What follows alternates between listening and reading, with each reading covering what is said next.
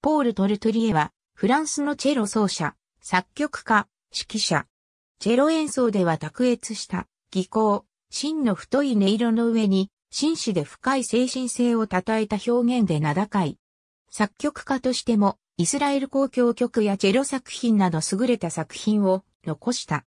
EMI レベルに、バッハの無伴奏チェロ組曲を2回録音。ガブリエル・フォーレのチェロソナタ集、リヒャルト・シュトラウス、ドン・キホーテなどが代表的。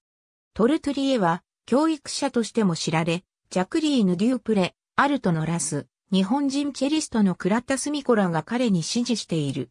トルトリエエンドピンを考案するなど、奏法についても研究、著書に現代チェロ奏法私の演奏法、教授法がある。